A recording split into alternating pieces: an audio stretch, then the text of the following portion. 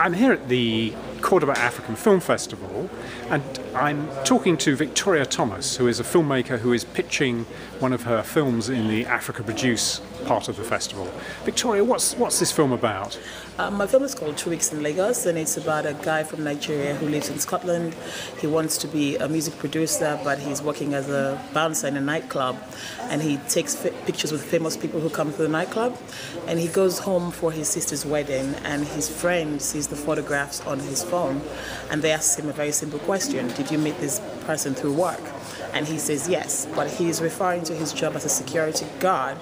But the friend wrongly assumes that he's referring to his job as a famous music producer because that, that is what everybody thinks that he's doing.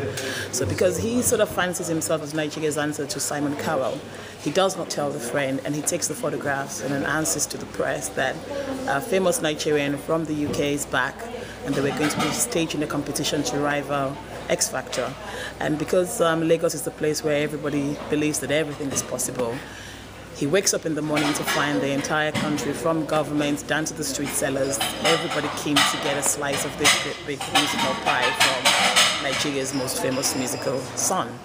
Um, he's in Lagos for two weeks. He's used to living in the UK, so he assumes that not much can happen in two weeks because in two weeks you might get a meeting with the commissioner if you're incredibly lucky, except in Lagos, everybody believes that everything is possible. So whilst he's saying, well, it's just two weeks, nothing much can happen, everybody in Lagos thinks it's a challenge.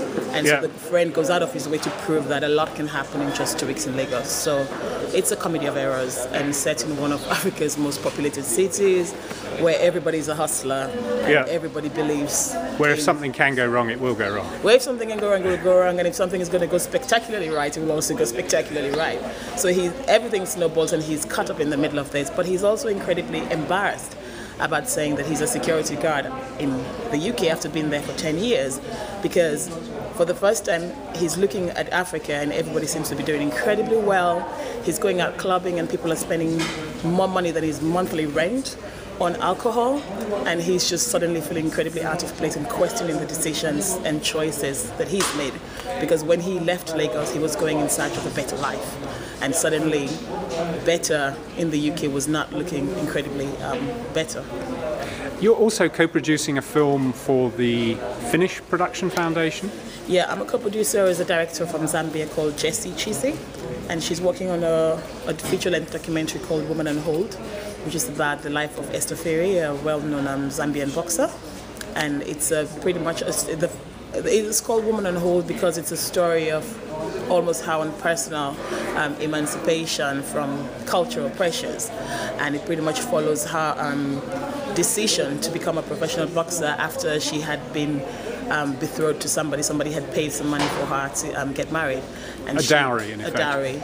And she returned the dowry once she discovered that she could be um, you know, have a career of her own, have a life of her own, and this was something that she enjoyed.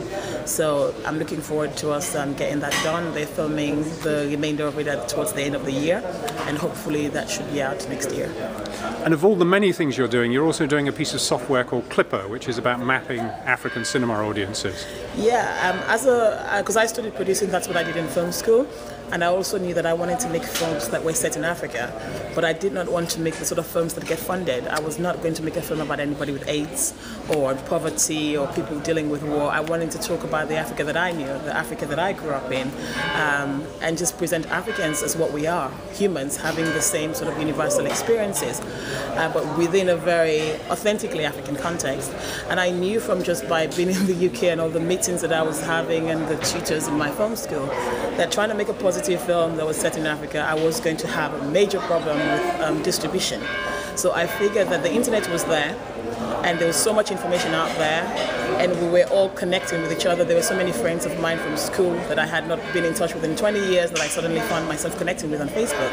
And so I felt like this was a, a bridge. It was a way for me to um, try and connect with people who would believe in the Africa that I know and who would be interested in seeing the same content. And I have lots of friends who are filmmakers who are having the same issues.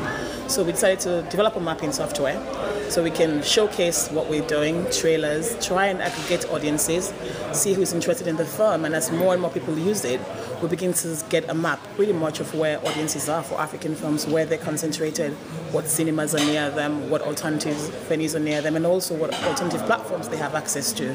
So we can do things like day and date releases. So you can get your films to the festivals, but capitalize on momentum and just pretty much get it to where people are who want to see it because that way you can begin to develop a sustainable model around them making independent And is, films. is the website live now? It's going to be live on next month. Um, it's www.klipr.net, so it's K L I P R, and um, we're going to be inviting films and case studies. So you know, anybody who's got a film that's set in Africa or in the African diaspora, by all means, um, get in touch. Thanks for talking to me today.